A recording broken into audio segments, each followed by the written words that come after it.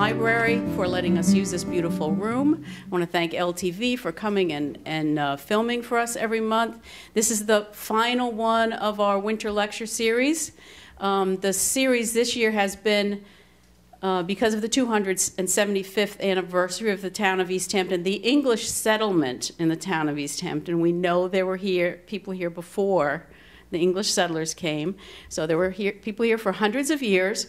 But this is the 275th anniversary of the English settlement of East Hampton. 370th. I'm sorry, 375th. I'm so old now, I can't remember anything. Um, so. Um, just a couple notes I wanted to make um, after the thank yous. I want to remind everybody if you're not already members of the East Hampton Historical Society, we value your memberships. It's the memberships of our uh, all our members. It's the money that we get from memberships that allow us to do these programs for free. So please, if you're not already a member, it's not a lot of money to join every year, and we really value your membership. Um, the, the the um, theme of this year's lecture series had to do with the people who built East Hampton. Unfortunately, there are no women mentioned, and we know what they were doing. They were busy raising the next generation, so we know what they were doing. But at some point, we're going to do a whole series on the women's contributions in East Hampton. I promise you that. I also want to mention that we're always looking, we've been doing these lectures now for about 20 years, this series. So if you have an idea of something that you would like to hear about that you haven't, that we haven't touched on yet, something specific to the East Hampton history, please see me afterwards, or Steve. Steve is over here, our, our director, or Hillary over here, who's our president. See one of us and give us a suggestion, because we're always looking every year. Hugh and I sit down together and try to come up with a theme for the year. We'd love to hear your ideas. Now, tonight's lecture is we've already heard about blacksmiths, we've heard about millers, we've heard about whalers. Tonight, we're hearing about builders, architects, builders, and tools of the 19th and 20th century. Hugh King and Evan Thomas have both been very generous over the years to do lectures for us. Everybody knows Hugh. Hugh's one of our uh, town treasures. I was going to say national treasure, but I don't know if you go quite that far. Um, but he's one of our local treasures here in East Hampton. um, Evan Thomas has been a master carpenter since the 1980s and, and will tell you a lot about the tools that he has up here. So I'm really looking forward to hearing what they have to say, and I thank you all for coming.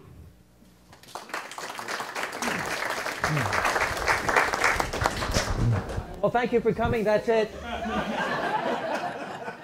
Okay, um, I want to thank uh, Andrea Meyer and Julia Tyson and uh, Mariah Moore for putting these images together.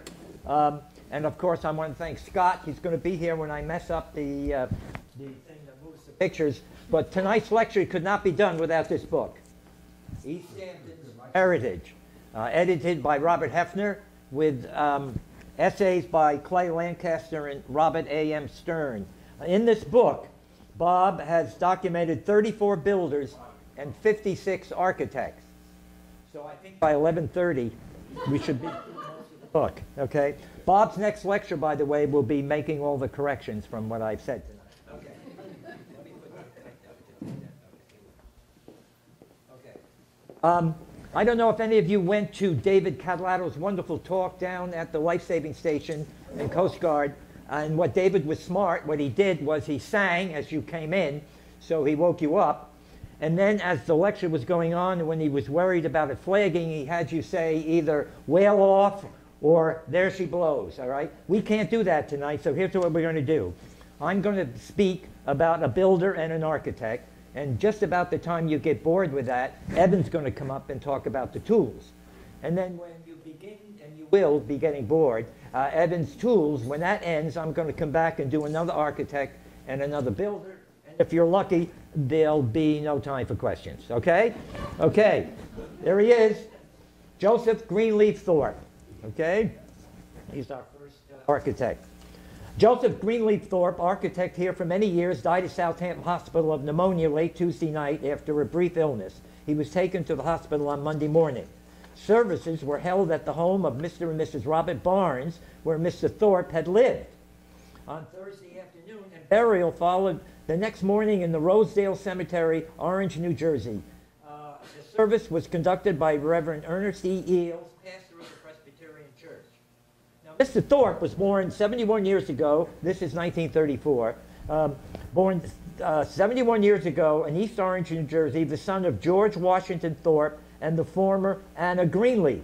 So his middle name was his mother's maiden name. Uh, I didn't ever realize that until I saw this. He was educated at Princeton University. After engaging in architectural work in New York for several years, he came to East Hampton to reside permanently. The first summer, his parents rented the Joseph S. Osborne House. You know where that is? It's on the corner of Dayton Lane and Main Street. And Joseph Septimus Osborne should be the subject of a whole, a whole talk all by himself. Okay? That house, by the way, is still standing. Okay? The first summer, his parents rented the Joseph Osborne house. Mr. Thorpe built his own home on Woods Lane, which is still standing, which you're going to see, where he lived with his mother and sister until 1910 when he sold it to Mr. and Mrs. Lewis Bach. He later owned the Sam Miller house. Where was that? Sam Miller, we think, was one of the actors who appeared at, in uh, theatrical events at Clinton Hall and he lived on the corner of Dunemere Lane and Main Street, the Sam Miller House, and that was sold when Guildhall was built.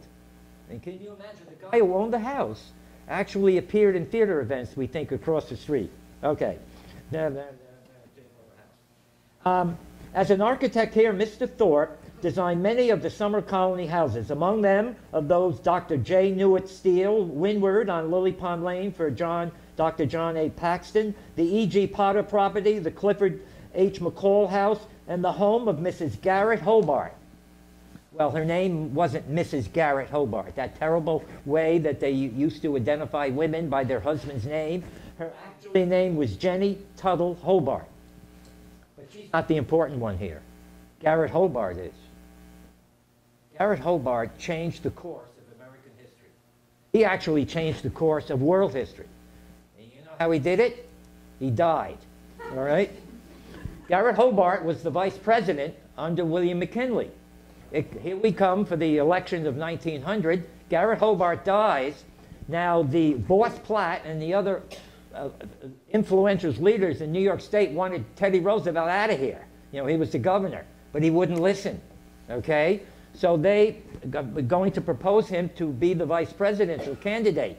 He apparently doesn't want it at the beginning. Mark Hanna, who was the um, manager of McKinley's campaign, didn't want him either.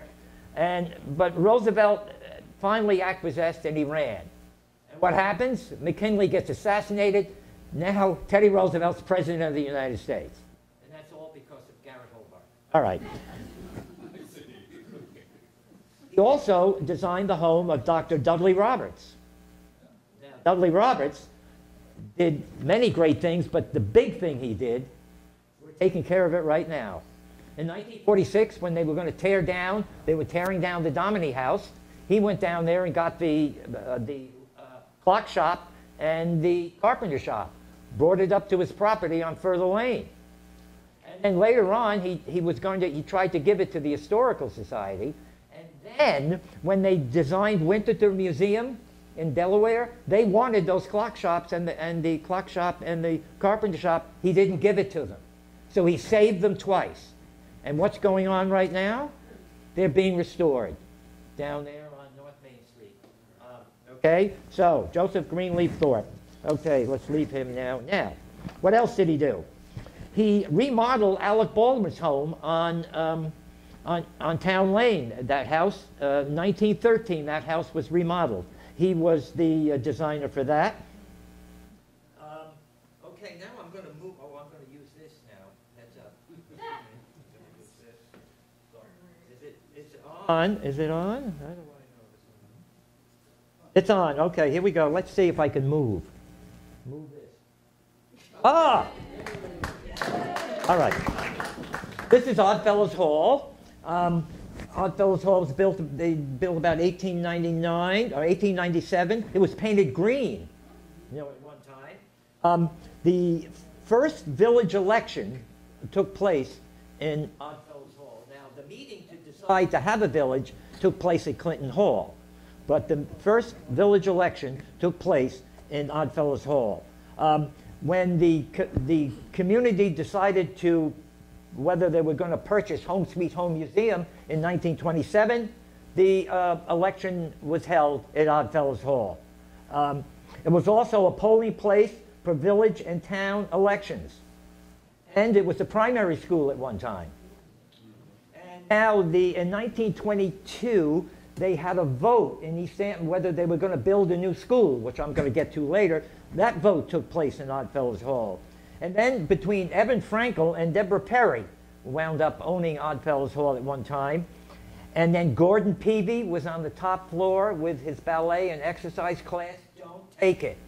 It was awful. He was so tough.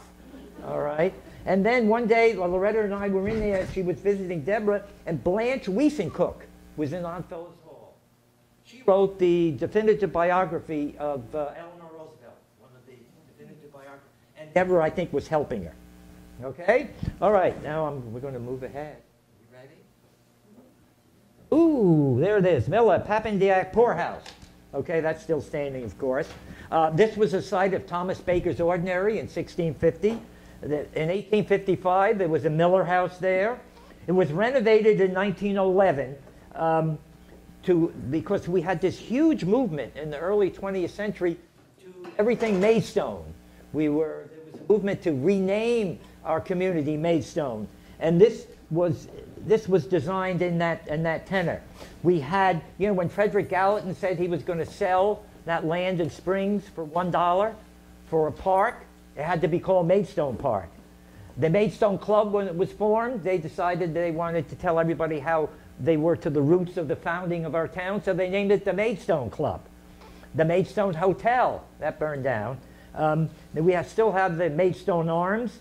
Um, and then the wedding of Eleanor Papendak to William Thorpe took place here, and they had this big, I can't think of the word, it was like a, a, a path that went from that house all the way over to St. Luke's Church. Um, okay, and then the wisteria at Home Sweet Home is over 100 years old. Well, if you go behind there, you're going to see wisteria older than that. The wisteria behind there. They also have white wisteria. Okay? Okay. All right, this is Joseph Greenleaf Thorpe's house, right? There on Woods Lane, still there, right? Okay.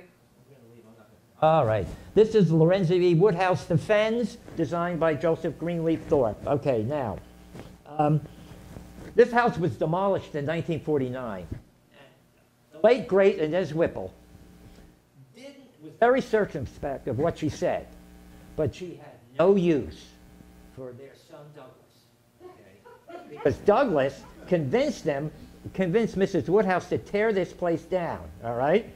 Uh, Lorenzo Woodhouse was the first president of the East Hampton Historical Society. He got Mr. Buek, uh, Gustav Buek, who owned Home Sweet Home, he got him to join.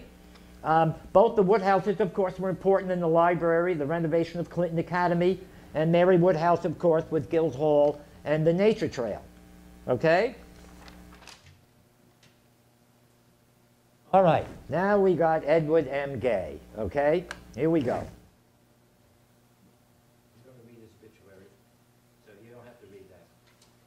Okay.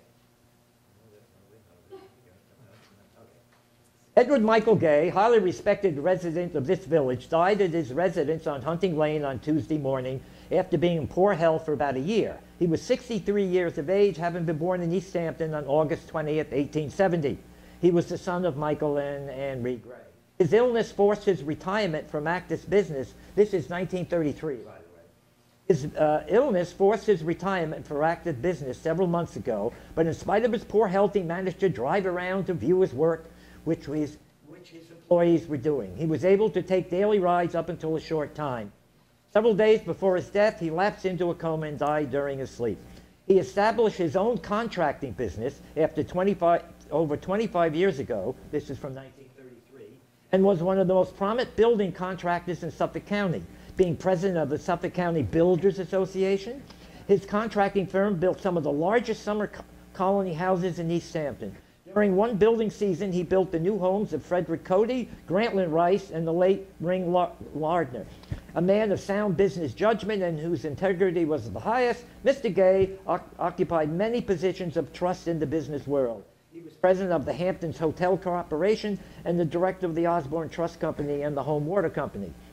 Mr. Gray will be greatly missed, uh, greatly missed by his wide circle of friends. As a businessman of long standing, he was always ready to willing to do his part.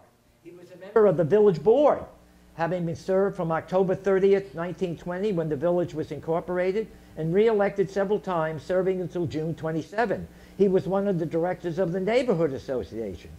By the way, the Neighborhood Association was the one who gave Herrick Park to the village. Herrick Park belongs to the village, not to school, as we all thought growing up. Okay. Former member of the East Hampton Lions Club and the East Hampton Businessmen's Club.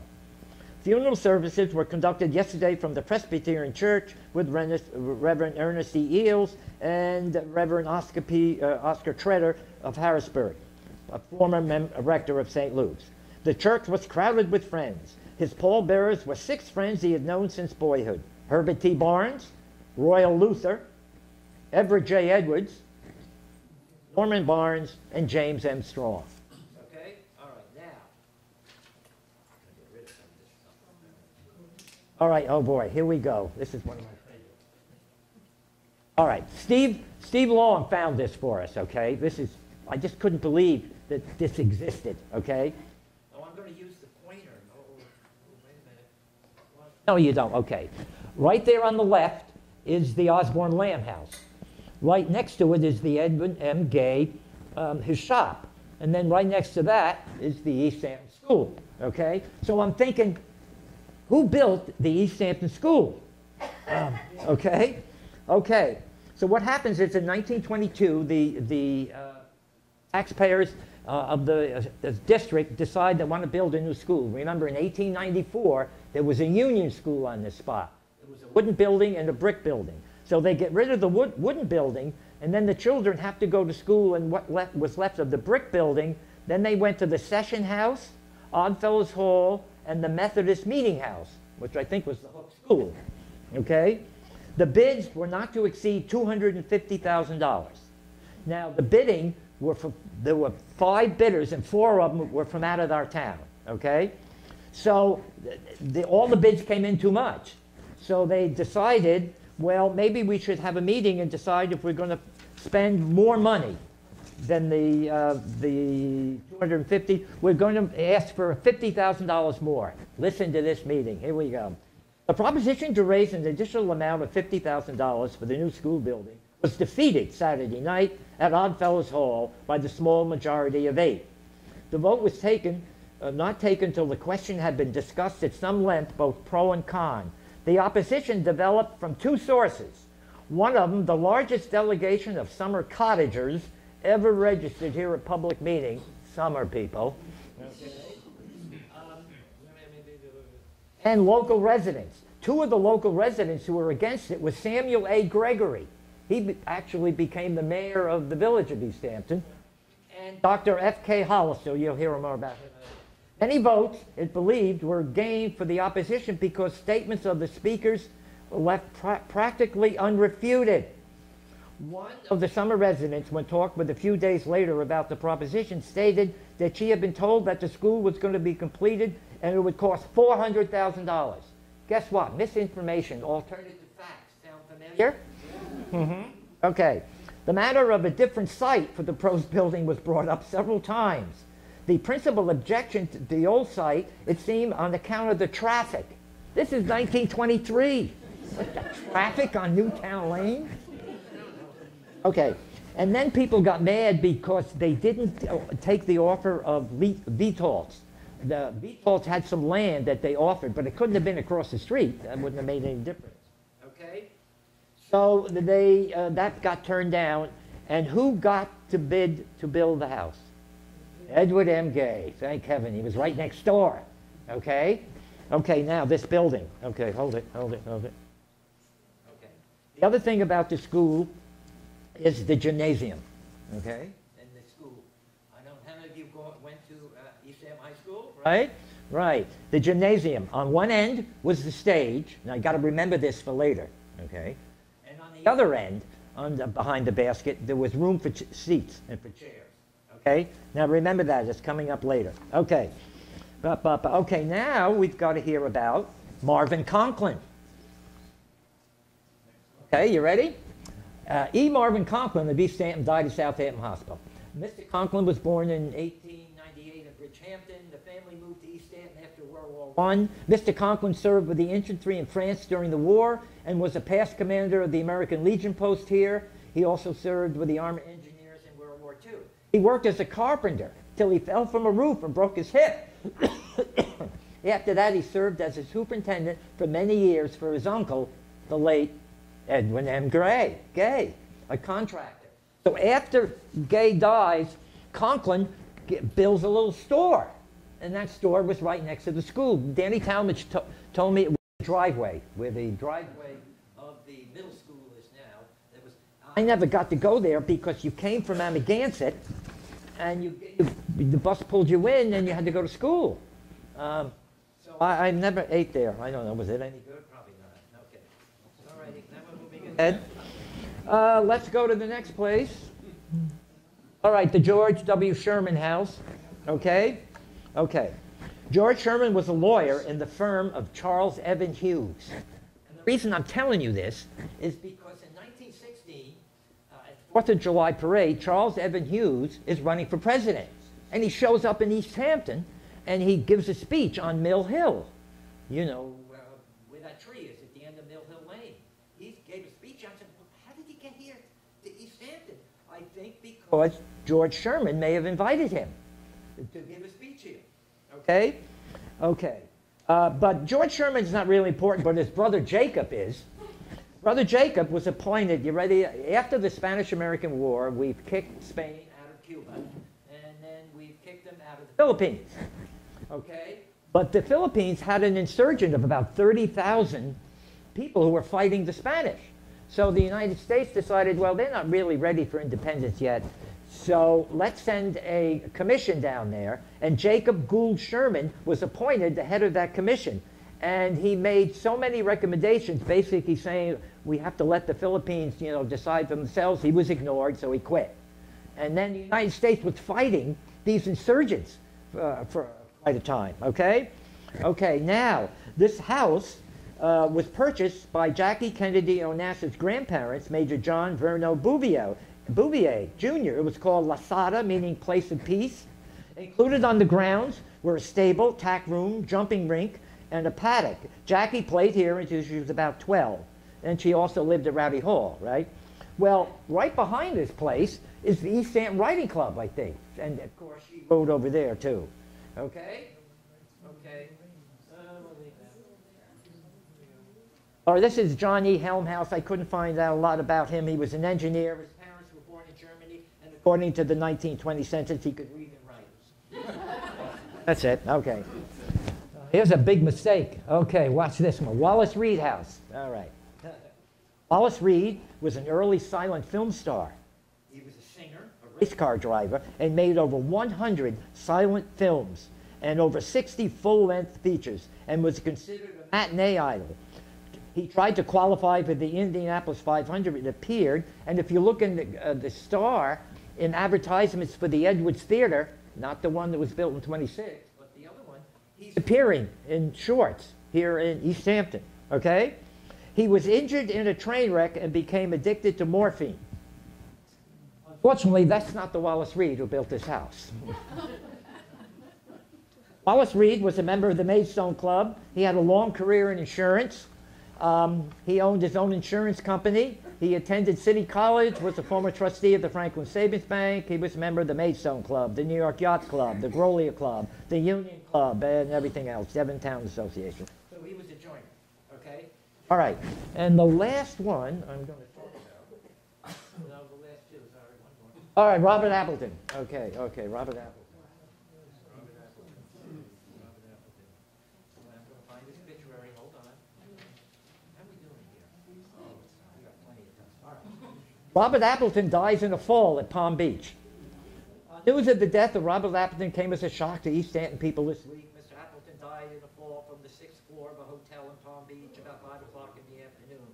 Mr. Appleton was 73, once a real estate man, retired many years ago. He had a an estate on the dunes, uh, Nid de Papillon, maintained a home at the Hotel Plaza in New York and Palm Beach. He was a member of the Bath and Tennis Club in Palm Beach, the Devon Yacht Club, the Regency Club. He was president of the Riding Club of East Hampton, you know, where Gertz and Stearns was. Its second president took an active part in the annual horse shows. Okay. The pallbearers at his funeral, and, Tiffany, I.Y. Halsey, Kenneth Davis, Louis Vuitton, Frank Smith, and Percy Skagg, PC Skagg. Okay. That's not the end of Robert Appleton, because now we have a $25,000 theft of gems reported at Appleton's home. Early morning robbery while family sleeps. People were called to the Robert Appleton estate at 4 a.m. yesterday and were reported that, by Mr. and Mrs. Appleton that jewelry valued in excess of $25,000 and a single note of $100 had been taken from Mrs. Appleton's dressing room. Mr. Appleton, feeling a draft through an open door of his bedroom, which adjoins Mrs. Appleton's, awakened at 4 a.m. He noticed the closet door open. He saw a man hiding his face with his arm running in a crouching position from the closet of the room. The burglar slammed the glass door in the hall, which wakened Mrs. Appleton, ran downstairs and out the door on the ocean side of the house. Okay? Now, also, they never found anything here, by the way. The last thing about Robert Appleton is he had a polo field up there. Uh, but the other thing about that was one trip, and his friends were landing airplanes up there in Further Lane. Well, you can imagine what those Further Laners thought of that. That was the impetus to begin talking about an airport here in East Hampton. And, um, and finally, okay, one more, and uh, okay, uh, Evan's coming next, so you can wake up. Okay, now. Dr. F. Hollister dies at his Drew Lane residence. That, this is his house. Uh, Hollister was a well-known resident of East Hampton since 1901 when he spent his first summer here. He died at his Drew Lane residence early Sunday morning following a ling- lingering. Dr. Hollister retired from practice in 1920 and subsequently passed most of his time in travel, making up one trip around the world. He was in his sixth year. Um, he was one of the organizers of the East Hampton Associates, a group organized to protect the interests of summer colony taxpayers. The present hearings conducted by the Public Service Commission regarding alleged excessive rates charged by the local lighting company follow, following work done along this line by the East Hampton Associates. Dr. Hollister was also one of the East Hampton residents who took the lead in raising money to secure East Hampton's first ambulance. Okay? Okay. That's it for me. Evan, you're on. Wake up, Evan.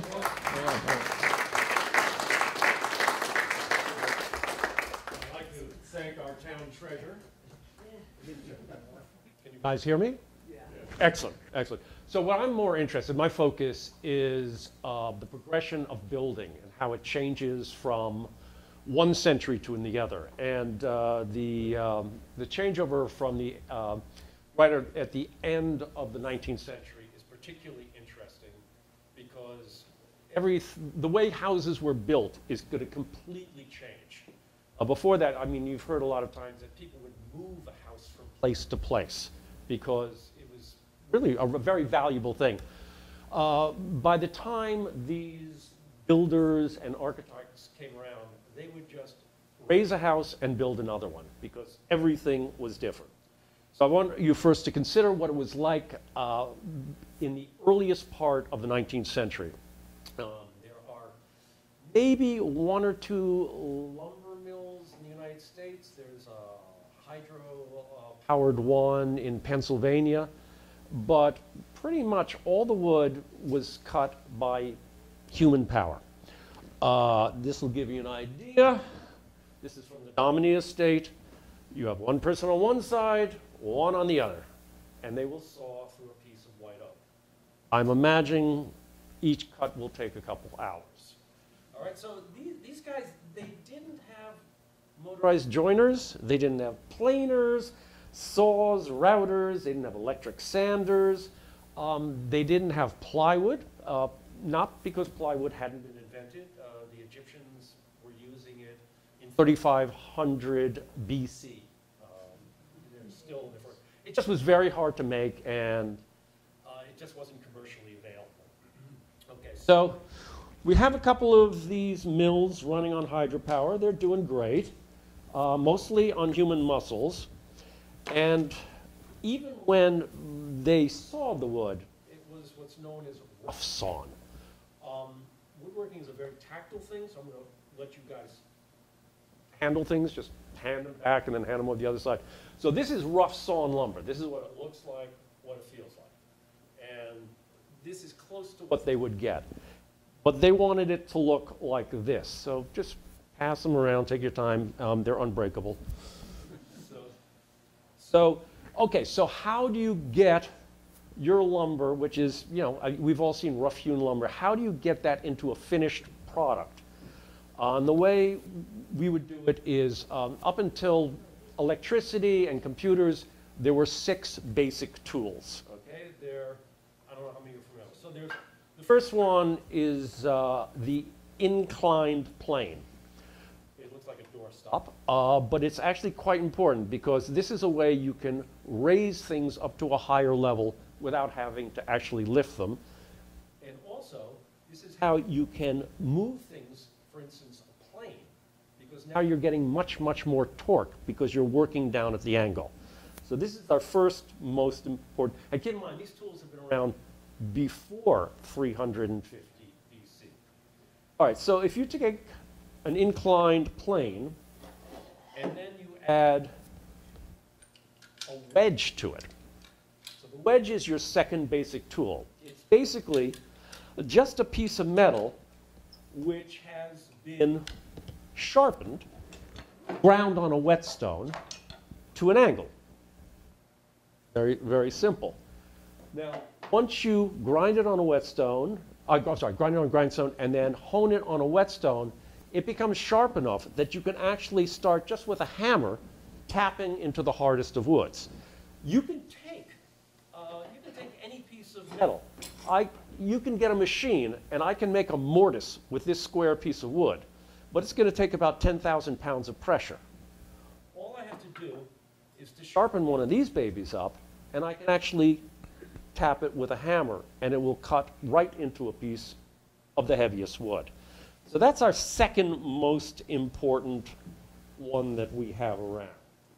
Okay, so now the important thing about the, the wedge is it has a, a lot of uses because you make shingles out of it, tapping them out of the thing. You can use it, in this case, as a smoothing plane. Um, and it's invaluable for making uh, mortise and tenon because most of our older houses are mortise and tenon. That's also how they were strong enough to be able to be moved around. All right, so then we have number three, very important. The third basic tool is the screw. Uh, the screw was actually first used in Egyptian times uh, for irrigation. It was actually used for pulling up water. Uh, but we use it for everything from all drill bits are screws. Uh, what else is a screw? Um, another good example of a screw, which is here, all our clamps, early clamps, are screws. And without clamps, we, no, we can't glue anything together. We have a saying in the woodworking business that there's very little that 2,000 pounds of pressure won't cure. So uh, there are three other basic tools. Probably the most important one, which is the wheel and axle. Uh, you will find builders using that mainly for transport, but also even a simple uh, wood lathe with a hand-powered wood lathe would use that, uh, and also a pulley, which obviously increases the amount of man or animal power by depending on how many pulleys you actually have. So these are the basic ones. Um, oh, and the last one, of course, is the lever. Um, the lever is, well, if you ever taken a nail out of a piece of wood, but even the, the fact of hammering is actually almost a sense of the lever. So these are the tools you have. This is basically your woodworking shop. Um, you know, you can think, if, if you want to, I'm not going to bore you with it, that everything base is based on these six tools. Uh, but they have drawbacks, these tools. I mean, uh, the, the first one, of course, is that almost all of them by human power. So they're limited by the power of one, two, three, four men. The other thing is, in the case of these tools, they take a long time to master. They take a long time to build. I mean, if you're going to build, let's say, if you're going to do mortise and tenon, you've got to be really good. These are back saws. You have to be really good at cutting the shoulders on a saw. You have to be very good. So it's, it took a lot of time to learn these things. Um, and, you know, these are not easy to sharpen, and they have to be sharpened. These are not easy to keep tuned up. This is interesting enough. This is, this is my go-to everyday um, plane. It's actually an antique plane from the 20s. It's no different than the plane, the, uh, the 1920s. It's no different than the planes people would have 50 years earlier. It's very simple. You just have to know to take care of them, but it's not easy taking care of them. And that's, this is just for making stuff square. Now, what if someone gets this wild, crazy idea that they're going to make moldings um, or something decorative? And to give an example of, I want you to think of how many planes are in a So you got a long plane. I was going to bring it in, but it's just too heavy, which is a joining plane. It's for making the wood straight enough that you can glue it together. Then you have a jack plane for removing stock um, and taking the cup out of board. And then you get the molding planes, the rabbeting planes. So so I'll just, just throw these out. This is a coving plane. This is a molding plane. This is a rabbeting plane. Uh, this is a and quirk. Uh, another kind of molding, another kind of molding. You need a lot of planes, basically. Every plane is hand built. Every piece of metal, the knife, is hand ground, hand sharpened. This was not easy to make.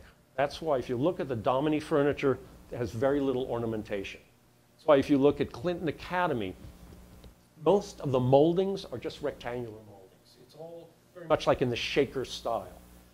Making a molding took a lot of time. Uh, and a matter of fact, the making of a plane was a very important part of um, a young apprentice's journey. Because usually uh, to go up from journeyman to, uh, from, from, sorry, apprentice to journeyman, journeyman to master, you had to produce a piece. And so from apprentice to journeyman, usually had to make a complicated plane. And uh, this is a very complicated uh, dadoing plane. Dado is a groove in a wood that you use to attach other people. But I want you guys to get a sense. There is some sharp metal on that, so be careful. Um, all right, so, so in the beginning of the 19th century, things had to be pretty simple. And you were very much limited. Uh, and we also, um, we also had other problems too, which was getting wood. But we'll, we'll, we'll get to that in a second. So, okay, 19th century comes around and brings with it the Industrial Revolution. And that's a huge deal because now we have something, we have steam power. Now we no longer depend on water power, which is fairly good, but not as great. Steam power is very powerful.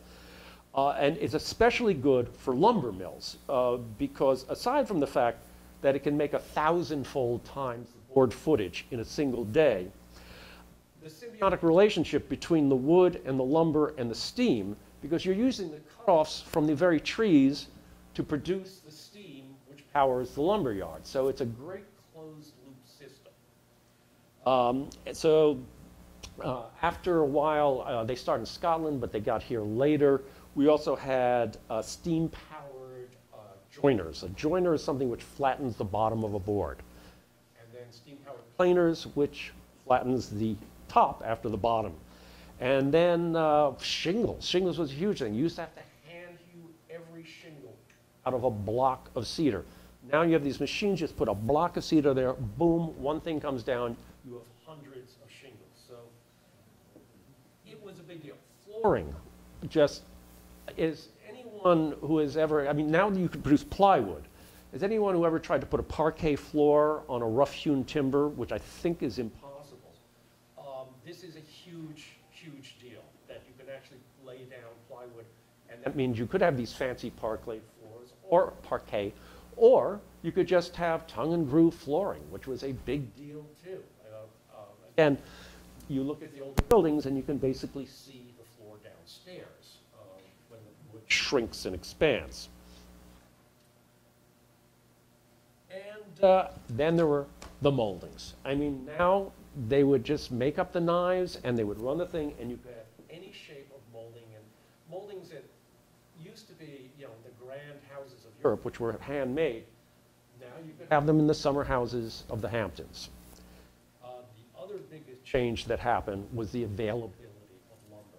Uh, the East End, we have woods and stuff like that. We don't have a forest out here.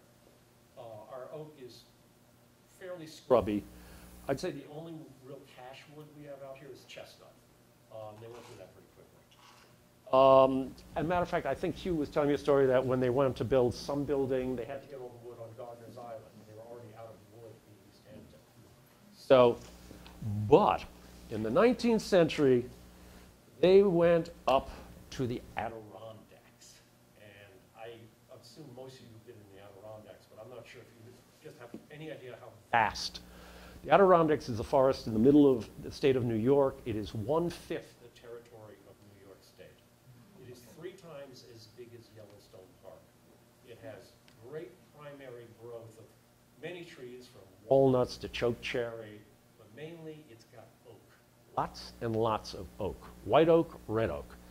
And oak is a great wood for building things. Um, It hadn't been that popular, but once it started being, uh, entire schools of furniture came around oak furniture. That's the Stickley furniture, the Greene, Greene and Greene.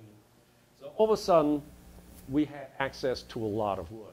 What they did up in Albany is they built a lot of the lumber mills around that. In winter, they would have horse-drawn sleds so they could go into the middle of the forest. With a sled on the snow and ice, you didn't need roads. You could just get right in there. You fell the trees, you bring them back to Albany, steam-powered uh, lumber mills, cuts them all up. You have to dry them for about a year. As you know, you can't use wet lumber. It expands, contracts, it cups. And then they just float them down on a barge to New York City. Uh, Sometimes they would take them from New York City on a boat to Sag Harbor. But then that changed uh, because in, I think it's 1870, uh, the railroad came out to Bridgehampton. Now everything could be transported then someone was smart enough to build a lumberyard pretty much where Riverhead Building Supply is now. And uh, in another 25 years, they brought the railroad right out to where that lumberyard is. And now you could just offload straight from the train. You didn't have to hire one of the, the many stages that went between East Hampton and Bridgehampton. So now you've got unlimited supply of building materials, moldings. They're cheaper, they're more available, and we get a building boom. And why not? You can build now fantastically large and ornate houses. Um, less- And architects could have a lot more fun with stuff. It just, it wasn't just simple and, you know, rectangles and angles. Um, and that's pretty much one of the main things that uh, created this, this new boom in uh, building houses, especially summer houses. Uh, The only question I have, and I'm going to bring this up later, is I'm not been able to find out where all the new workers came from. I mean, there were, because there were always craftsmen out here, there were always people who built houses, but they were building a couple a year, and all of a sudden they were building these uh, gigantic buildings. Uh, This coincides with a time when there was a lot of immigration to New York City, and especially a lot of artisans. And this, uh, I don't know if you guys are familiar with the brownstones in Brooklyn and in Manhattan, but they were built by this influx of Italian artisans and very, um, it could be some sort of offshoot from that because uh, Austin Corbin, uh, Corbin, Corbett used a lot of Italian labor to build the, uh, the tracks for the LIRR. Perhaps some of these people decide to stick around. Uh, or, uh, well, if, if they did, they weren't starting their own companies, because I looked back and the companies the, were all, the, the, the people who ran the companies were all named Gay, Barnes, Eldridge. So, uh, and then there's also just a chance that a lot of people decided that building was more lucrative than fishing or farming, because it probably was at the time. But anyway, uh, that pretty much began the biggest building boom that, if I'm not mistaken, is today. Thank you. Thank you, Evan. All right.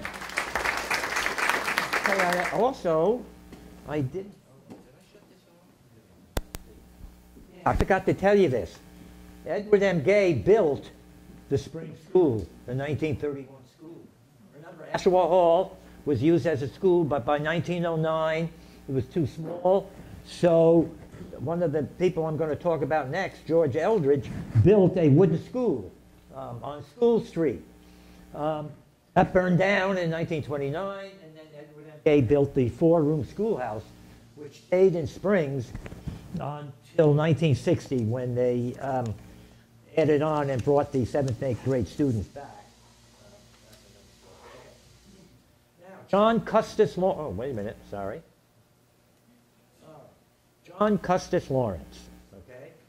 John Custis Lawrence, 76, architect, many years, dies here. This is 1944. John Custis Lawrence died on Saturday morning at his home on the Bridgehampton Road after an illness of two years. He had been confined to his bed for the past three months.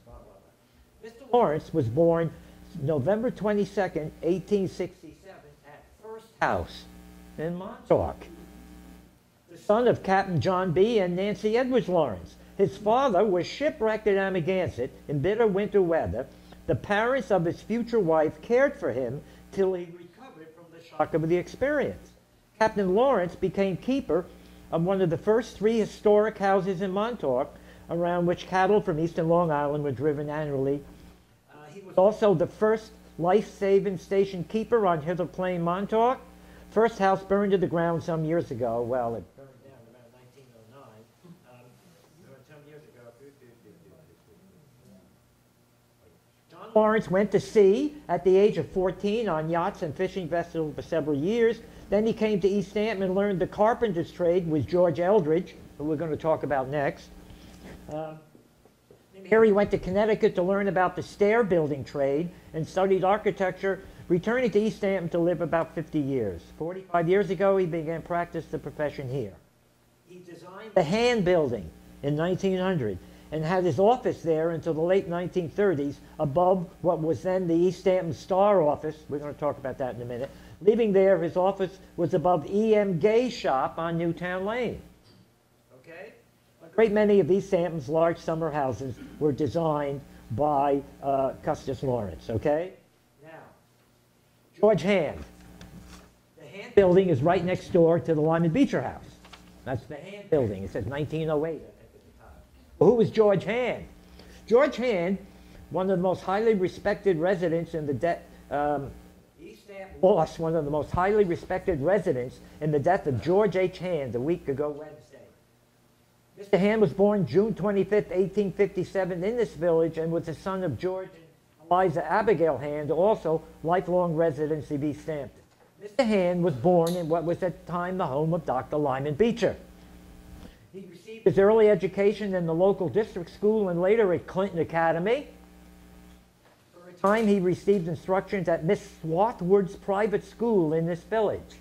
I had no idea where that is. We got to find out where Miss Swarthwood's had her school. Completing his education in he attended Eastman's Business College. One of Mr. Hand's early business ventures was buying the drugstore of a Mr. Barber. He formed a partnership with Dr. Edward Osborne, and together they conducted the business for several years under the name of Osborne and Hand. They later sold the business to W.F. Munchmore, who then sold it to W.F. White. And White's pharmacy is still there, okay? No, it's the apothecary now, so they can charge more. Mr. Hand made many friends in this community and was all over the county when he engaged in potato, potato bearing and dealt in fertilizers. In the year 1905, he erected a business block, which is known as the Hand Block. That's the Hand Building, next to uh, the, the village headquarters. And for several years, successfully conducted uh, a, a vegetable market in the building. For nearly 10 years, the East Hampton National Bank occupied the southern half of the building. Other tenants um, called the East Hampton Star was there at one time. Um, the East Hampton Electric Light Company, New Tiffany, John Custis Lawrence, Harry Stevens, the lawyer, and J. J. J.G. Thorpe, architect. Okay, so that's George Hand. Now, well, what did he build? Well, let's see. Oh, he designed the the uh, the. Uh, that's the hand building. I just told you about that. Sorry. Okay, there it is. E.J. Edwards Drugstore, right? Uh, Edward Edwards had the structure built in 1901 by George Eldridge to house his pharmacy. The design was influenced by Renwick's addition to Clinton Academy in 1886. Eldridge and Lawrence designed the building. The interior furnishings designed by Lawrence included a ceiling of opal glass of a green shade laid in panels and a white mosaic tile floor tile. They're still there. The other place that had this green uh, ceiling was Kelly's Liquor Store uh, up the street. Now it's the famous historic landmark something. I know it's next to. Okay. In 1906, the rear of the building was extended to provide room for the East Hampton's first central telephone office. Stockbroach office was on the top floor. What's the star's phone number? who's got 001? Barbara. The Strongs. And Helen wanted it, but she never got it. Okay. Okay, all right, here we go. Okay, now E.J. Edwards sold his business to Casper Rowe, Rowe's Pharmacy. Okay? Now, I see, if you look at the design, you see that design, and then you look at Renwick's Clinton Hall, you see, that's why it looks the way it does, the Star Office. They, uh, copied that. Okay. Uh, Okay, the Lorenzo E. Woodhouse Bungalow. Okay. Lorenzo and Mary Woodhouse Bungalow, it's the ninth, in 1916. This building was probably for the landscape architect for her gardens. It's at the back end of her property, and one needed the swamp angel to get from this house to the gardens because there was a pond there. And they used this little boat and they called it the swamp angel to get to the gardens. There was also, I think, a tea house uh, on the property. Now, the Woodhouses, this is Lorenzo E. His uncle Lorenzo G. was here already. So Lorenzo E. They come to East Hampton after a lawsuit in Vermont. Douglas, their wonderful son, uh, gets married to this woman. The Woodhouses don't think that she's appropriate for him, and so she they get a divorce. She sues the Woodhouses and wins a $125,000 award. Then they moved to East Hampton, okay? Lorenzo Woodhouse kept a boat at Three Mile Harbor and was the first in East Hampton to drive a Stanley steamer, okay? Now, uh, here comes something that's not so good. They had a daughter, Marjorie Woodhouse. The Woodhouses built the, um, the playhouse in 1916 for Marjorie, and she got married there in 1921. The tragic news that Mrs. Marjorie E. Leedy, she first was married to one of the Procter and Gambles, that ended in divorce, and then she married this guy named Leedy, okay? The tragic news that Mrs. Marjorie Leedy was drowned and her husband, Carter Randolph Leedy, was painfully injured on Wednesday when their automobile plunged 40 feet from the embankment into the Bronx River was received with great sorrow. Now, when you go to Guild Hall, uh, there's a Marjorie Woodhouse gallery in there. Uh, and I think that's because of, of Marjorie. I think the, a lot of times the actor, they use it as a green room. Uh, I don't know what's, know, I don't know what's there now. Okay. Okay. Are we ready? Now we go to, go to Grantland Rice, okay? You know, I don't know if you remember who Grantland Rice was, but here we go. All right. Grantland Rice, his house, uh, 1928, the house stood next to his friend Ring Lardner, another famous writer. Both houses were damaged in the hurricane of 1931. And you ready for this? And were move back from the beach. You can do that. Move back from the beach. Okay? Okay, now, Grantland Rice. Grantland Rice was the Dean of Sports Writers and a summer resident here for nearly 30 years. Column The Sportlight appeared in more than 100 papers. He recently completed his memoirs. Mr. Rice was a kindly man, gentle with a great sense of humor, which never bitter. He and Ring Lardner, Percy Hammond, John D. Wheeler became summer residents here. Mr. Lardner and Mr. Hammond predeceased, and Mr. Wheeler died too. Now, Grantland Rice was, um, attended the first World Series in 1905 and helped with the radio broadcast. And here's his most famous saying. Mr. Rice wrote a great deal of verse, and this is the one. When the great scorer comes to mark against your name, he'll write not won or lost, or how you played the game. That came from Grantland Rice. And his friend Ring Lardner was also a famous writer. He wrote about a, a lot about baseball until the Black Sox scandal in 1919, when the uh, eight members of the Chicago White Sox uh, were accused of um, throwing the World Series. They were acquitted uh, because the confessions mysteriously disappeared.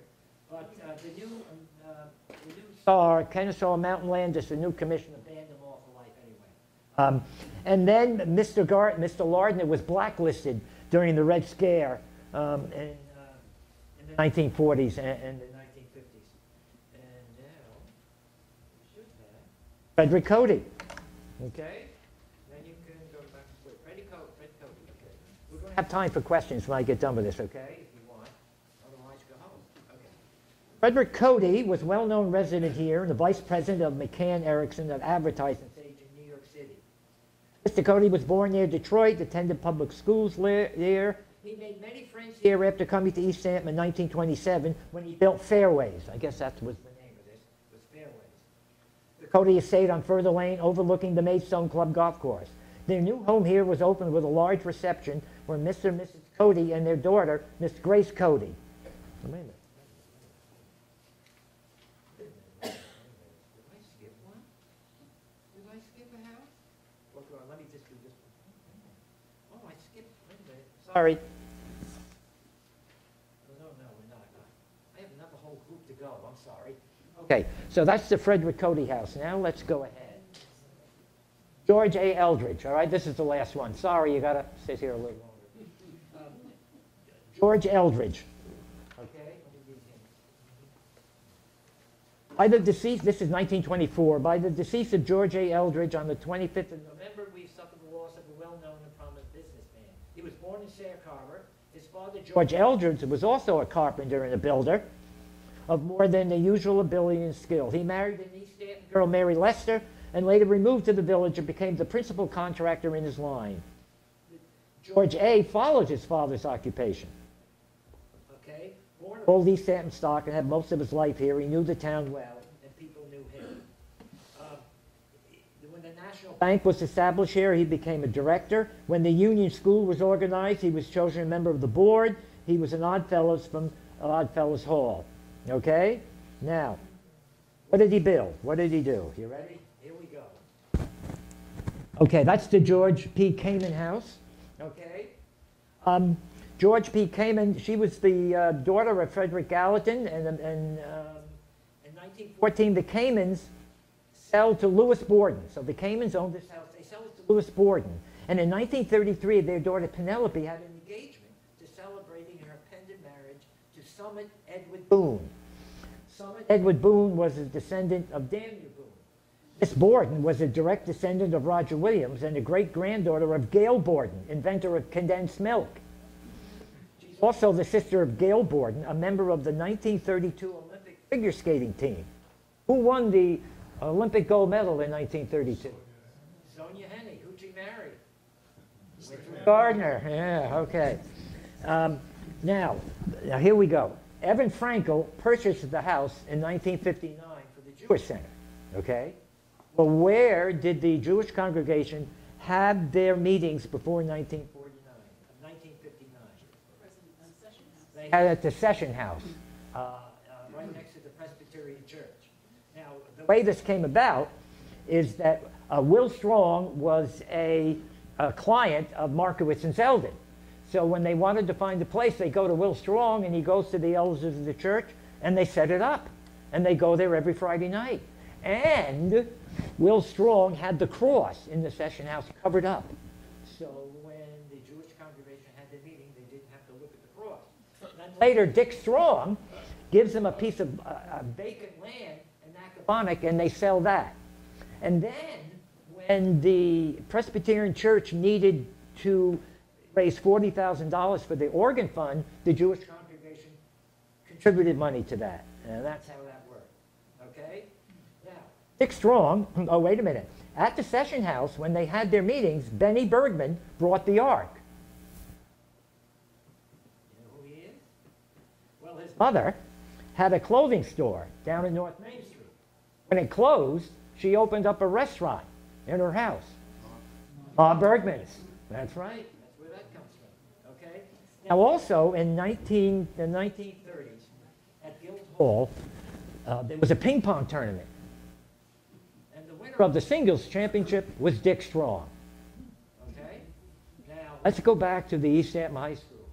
Remember when I told you about the gymnasium? On one end behind the basket was the stage.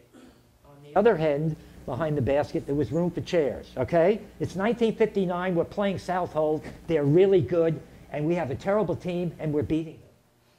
Well, we had two, two magical um, helpers. Okay? First, sitting on the stage were the cheerleaders. Margie McElroy, Barbara Sesmikowski, Barbara Grant, Joan Ponick, Rosita Palaby, and Sally Cook. One look at them, you're not going to make a basket, okay? But on the other end is our real secret weapon. Sitting down there at the other end are Dick Strong, Percy Skank, Big Al Cavanero, and Eddie Skank. They made so much noise yelling at the referees and the other team that the two referees, Nick Chick and Herb Goldsmith, stopped the game and told them they were going to leave if they didn't be quiet. We won the game. Okay, well, that's enough of that. Okay. Okay, now, this is another story. I, this is so nice when you get, uh, you get assigned to do a, a, a, talk. You learn so much. I didn't know any of this. You ready? This is, what's this house? Grey Gardens, yes. All right, this is, this is F. Stanhope Phillips or Grey Gardens. Okay. Martha Bogg Phillips, not Mrs. F. Stanhope, and her husband bought the property next to the Coast Guard station in 1897 and resolved to build a house. They found out that, that some of the property was owned by the Coast Guard, so they had to get that straightened out, okay? Her husband dies in 1901. Now remember that, okay? She sells the house to Robert Hill and his wife Anna, who brought custom-built concrete walls from Spain to build an enclosed garden. What color are they? Gray. yes. Then they hired Ruth Bromley, the wife of Aymar Embury II, to design the gardens. You know, Embury designed Guildhall and the library. Then they sell the, uh, they sell the house to Phelan and Edith Beale in 1924, and then Phelan Beale dumps you know, Big Edie and Little Edie in, in, the house. Okay, well, um, Terry Wallace is taking, Terry Wallace is working at the Garden of Cottage. He takes some people over to the cemetery and he's showing them the Moran monument. And then there's, Martha Bogg Phillips buried with the Moran. Well, how'd she get there? Well, when Martha's husband died in 1901, his brother blamed Martha for contributing to his death. So she probably was on the outs with the rest of the family. Okay? She's buried with the Morans in the South End Cemetery. She was a good friend of Ruth Moran, and when Guildhall opened in 1931, she presented the museum with a portrait of Thomas Moran by Howard Russell Baker for the Moran, Moran Gallery. So I think that's why her name is on that stone there. Okay? Lorenzo G. Woodhouse home. This is Graycroft. This was the main house of the Graycroft estate. The original estate included a carriage house and a wind pump and a water tower. Who lives in the house? Who lived in the house where the wind pump and water tower is? The late great Inez Whipple and Warren Whipple. Yes. Okay. Okay. Uh, Mrs. Woodhouse gave the estate to Leighton Rollins to be used as an acting school, and right to the left of the house is was the carriage house, I guess. That's where the acting school was. And they gave some performances at St. Luke's Church. And in one of the programs, it said that little Bobby Osborne was in the show. Bob's denied it. He said it was his sister, but I don't know. Okay. Okay. They lived in the house. The carriage house was the acting school. Okay, here we go. Almost done. The DeWitt Talmage. DeWitt Talmage, of course, was the most prominent religious of the mid-late 19th century, rivaled only by Henry Ward Beecher. His Brooklyn Tabernacle Church burned three times. His sister married Reverend Stephen Mershon, minister of the Presbyterian Church. His home, along with Mersh- Mershon's seaside cottage, was the beginning of the settlement called Divinity Hill, the summer colony. His first sermon was in the townhouse, and others were later printed in the East Hampton Star. And then we have, you know, I think the next, the Daniel Talmage house. Let me get to him. Daniel Talmage came to East Hampton as a child in the 1850s to live with his uncle, Reverend Stephen Mershon. He returned to East Hampton in 1873 and in association with Reverend Mershon and another uncle, the Reverend T.D. DeWitt Talmage, acquired land and built cottages for rental and sale on Lily Pond Lane and Cottage Avenue. That's the Divinity Hill. Um, what did I say? Oh, wait a minute, okay? Okay, here's a mistake. This house was on Middle Lane, right? Uh, th- th- I think it was, um, what happened? The house was taken off in like 1980 and then rebuilt. So now I'm telling everybody, oh, Deathtrap, that movie, uh, it's, part of it took place in a uh, windmill. It's not this one. Okay, okay, Sidney Lumet, the director, had a house uh, in East Hampton, and he filmed part of the movie in East Hampton at Deep Lane. Now, Deep Lane in Amagansett, where Quail Hill Farm is, there's a windmill there. Uh, I think one of the, Mr. Woodhouse may have built that, we're not sure. And also, he filmed in a windmill on Main Street. Was actually the DeRose Cottage, which is behind the uh, Gardiner House on Main Street. Okay? Guess what? That's it. That's it. Now we can take questions. You can take questions for Evan, or you can go home. All right, all right, all right. Evan, come on up here. Yeah, yeah. Evan. Old business? New business? Go ahead. How would you make one of those school instruments that you're showing us? Yeah, how do they make that? How do they make these? Um, I'm not, frankly, I'm not sure. I imagine they cast it. Yeah, probably a wax cast. That's how you would generally sort of, and then they would hand sharpen it and take the burrs off of it. But, um, my friend makes machine parts out here, uh, Randy Hoffman, and he usually uses the wax, wax method. Okay. Five, four, three, two, one. Good night. Oh, oh, yeah. Question for Evan. How did you get interested and how did you do your own apprenticeship in carpentry? What was your journey? Um, I'm, I'm actually, uh, not a carpenter, I'm a furniture maker, but that's, it's a little bit, um, I was, can you hear me? Because I'm not Yeah. here. Yes. Um, I was, uh, working in New York as an actor and, uh, realized I was never gonna make it. And, uh, my dislike of people and that waiting on tables was out of the question. So, uh, I fell in with a group called Ace Jointers and they were very, very high-end. They actually did a lot of work out here. And I did the old-fashioned apprenticeship. For the first year, I swept the floor and, uh, sharpened tools. And then I convinced them that I was gonna quit if they didn't let me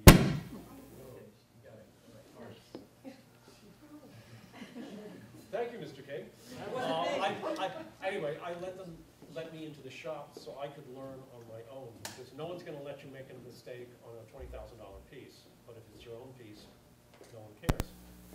Uh, and I just ended up really, really enjoying it. It's, it's a really nice way to make a living. I'm mostly retired. I have one client now, so I, you know, I work at my own pace. Sometimes he'll say, I want this, this, and this, and I'll say, well, I can get that for you by next year. maybe, you know.